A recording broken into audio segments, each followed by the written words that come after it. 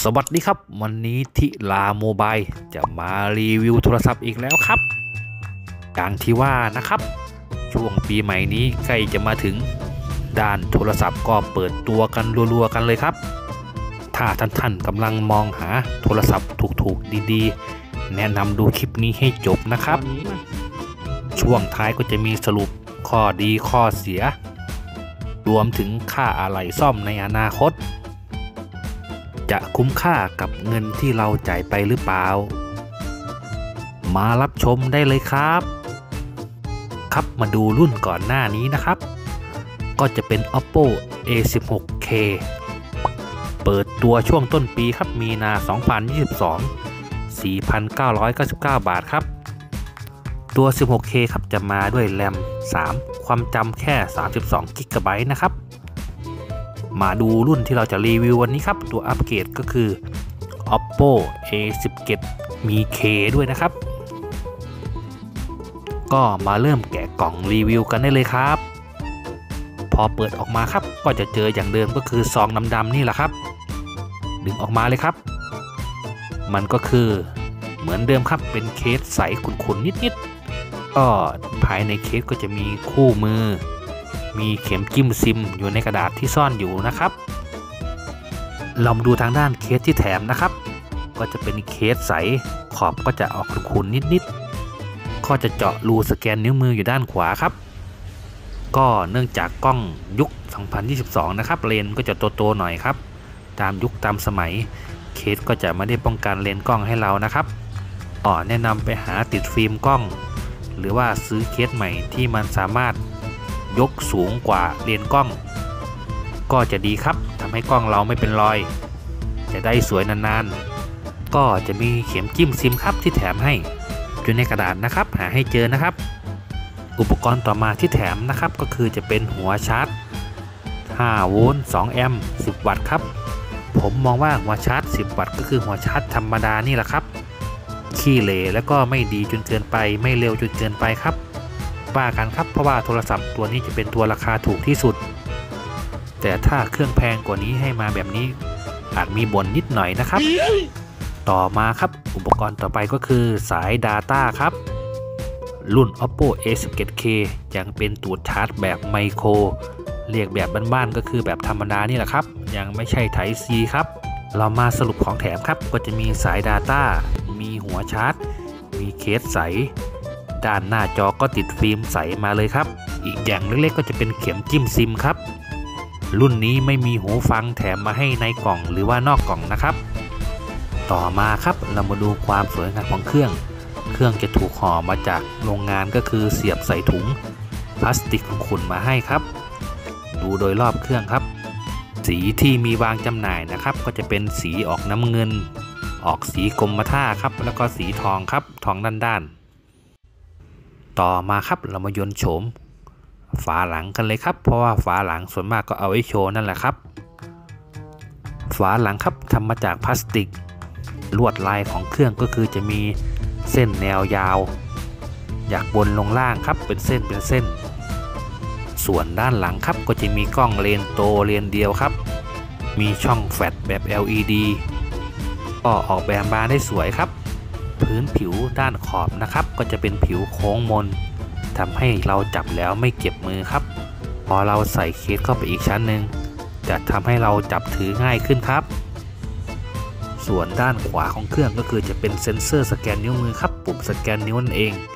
แล้วก็จะมีปุ่มวอลลุ่มบวกลบครับเร่งเสียงลดเสียง มาเทียบกันชัดๆครับว่า A16K กับ A17K แตกต่างกันยังไง ก็ของใหม่ยังไงก็ดูทันสมัยกว่าอยู่แล้วครับมาดูด้านบนเครื่องครับ ไม่มีไมค์ตัดเสียงรบกวนให้นะครับ เป็นรุ่นธรรมดา อีกด้านของเครื่องก็คือจะเป็นเข็มจิ้มซิมครับ แล้วก็ถาดซิม เครื่องรุ่นนี้ใส่ได้ 2 ซิมครับ ซิม 1 ซิม 2 แล้วก็ช่องหนึ่งก็คือจะเป็นช่อง memory card ครับ มาดูทางด้านท้ายเครื่องครับ ก็จะมีรูลำโพง จุดชาร์จแบบไมโครธรรมดาบ้านๆเรานี่แหละครับ แล้วก็จะเป็นช่องไมค์แล้วก็หูฟัง 3.5มิลลิเมตรครับรู small talk นั่นเอง ครับเรามาดูอีกรอบครับ เปิดตัวมา 4,499 บาท มีจุดไหนเด่น หรือว่าเน้นสเปคมาดูทางด้านแบตเตอรี่ครับ เรียกกันง่ายๆนะครับ ก็คือแบต 5,000 ส่วน A16K ก่อนหน้าจะได้มาอยู่ที่ 4,230 ครับ ก้อนเล็กกว่า ส่วนรุ่น A17 ที่ขายข้างกันก็คือแบต5,000 นะครับ ครับยุคนี้แบตต้อง 5,000 บวกนะครับ ถึงจะดีใช้อึดทนได้ทั้งวันเลยครับ ต่อมาครับเรามาดูสเปคพื้นฐานของเครื่อง o A17K ให้แรมมาอยู่ที่3 g b ครับ ความจำอยู่ที่ 64 g b ส่วนแรมนะครับจะอธิบายแบบบ้านๆก็คือ มันจะใช้หน่วยความจำของเครื่อง เป็นตัวช่วยขยายแรมครับ อย่างเช่นแรมที่ให้มา3 g b เราสามารถปรับแรมสูงสุดอยู่ที่4 g b รวมกับ3 g b ที่ให้มาก็จะเป็น7 g b ครับ ก็จะเป็นออปชันโทรศัพท์ในยุค 2022 นี่แหละครับ มีฟังก์ชันขยายแรมได้ สมัยก่อนไม่มีนะครับ ก็ขอชมหน่วยความจำที่ให้มา 64 g b นะครับ เพราะว่าตอนนี้ 32 g b ลงแอป ระบบก็จะเต็มแล้วครับ เยี่ยมเลยครับ ต่อมามาดูสเปคหน้าจอครับ ชนิดจอ IPS LCD 16 ล้านสี เป็นรูปหยดน้ำเหมือนเดิมครับขนาดกว้าง 6.56 นิ้ว มาดูตัวอย่างครับ การดู YouTube 1080p ภาพของจอที่ได้นะครับ สีสันสวยสดใสชัดเจนดีครับ สู้แสงได้ดีครับ ต่อมาครับเรามาดูจุดแข่งขันในท้องตลาดกันก็คือกล้องนี่แหละครับ ความละเอียดของกล้องหลังอยู่ที่ 8 ล้านพิกเซลครับ ไฟแฟลชเป็นแบบ LED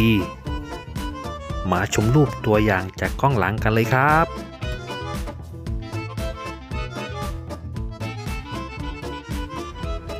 ต่อมามาดูกล้องถ่ายรูปครับ กล้องหลัง 8 ล้านพิกเซลแฟลชแบบ LED มาดูรูปที่ถ่ายจากกล้องหลังกันครับ รูปที่ถ่ายออกมาก็สวยครับดูดีครับ ส่วนกล้องด้านหลัง ถ้าเราถ่ายคนก็จะมีโหมด Beauty ครับสามารถปรับความเนียนของหน้าได้ ดูจากรูปแรกครับมีสิวรูปที่ 2 ไม่มีสิวเลยครับ ต่อมามาดูการถ่ายรูปผลิตภัณฑ์ เป็นโฟมล้างห้าอีฟนะครับ แล้วก็จะเป็นการถ่ายผักออร์แกนิก ต่อมาก็จะเป็นรูปตึกครับ ภาพที่ออกมาคือใช้ได้ครับ แต่รายละเอียดอาจจะไม่สูงมาก เพราะว่ากล้องแค่ 8 ล้านเอง มาลองถ่ายวิดีโอที่ความละเอียด 1080p ดูครับขอตัดเสียงไมค์ออกนะครับ เพราะว่าลมแรงแล้วก็เสียงรบกวนเยอะครับ งานวิดีโอคมชัดพอใช้ได้ครับไม่ถึงกับดีมากนะเอาเก่งเก่งเก่งตัวนี้ถ่ายวิดีโอพันแปดสิบพีอยู่นะครับ อ่า มากระเป๋าพื้นไปขึ้นบ้านมามาขึ้นบ้านไปไปไปเยี่ยม มาดูความละเอียดกล้องหน้าครับ กล้องหน้า 5 ล้าน ถ่ายสวยไม่สวยมาดูรูปกันเลยครับกล้องหน้าก็จะมี AI สำหรับปรับ retouch ได้ครับ เอาภาษาชาวบ้านเราเลยครับ ก็คือปรับให้มันเนียนขึ้นนั่นแหละครับ แล้วก็สามารถปรับฟิลเตอร์ อมชมพู หน้าขาวภาพขาวดำได้หมดครับ ถ่ายแล้วโพสต์ลงเฟซโพสต์ลง TikTok ได้เลยครับ นี่คือเหตุผลที่ผู้หญิงส่วนมากเขาชอบใช้ oppo ก็มีส่วนหนึ่งครับ ชอบใครชอบมันนะครับ ชอบกล้องเขาขาแบบนี้ก็จัดเลยครับ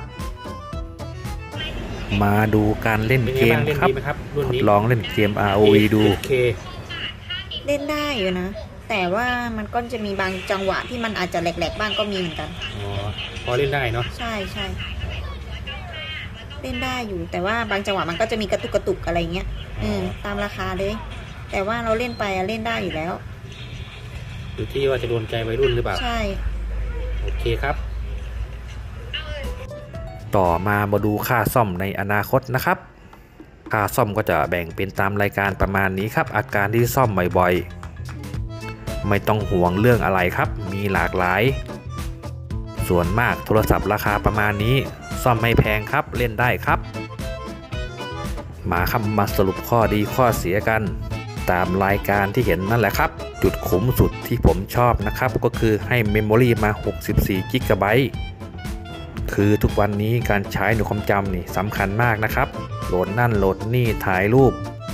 ยิ่งแอป Facebook TikTok Line แค่แอปพื้นฐานนะครับ ก็ยังกินไฟล์ไปหลายจิกเลยล่ะครับ บางคนที่เห็นนี่ 5 6 จิกก็มีครับรุ่นอื่นให้มา 32 กิกะไบต์ก็มินเมที่จะเต็มแล้วนะครับ เหมาะสำหรับซื้อเป็นของฝากหรือใช้เองครับ รุ่นนี้ผมมองว่าคุ้มครับ ถ้าลดราคามา 3999นี่ตลาดแตกแน่นอนครับ สุดท้ายนี้ทางจิลามุมไบก็ขอขอบคุณทุกๆทท่านที่รับชมนะครับ ไม่ว่าจะเป็นพี่น้องทางลาว เมียนมากัมพูชาขอบคุณครับ ฝากกดติดตามด้วยนะครับ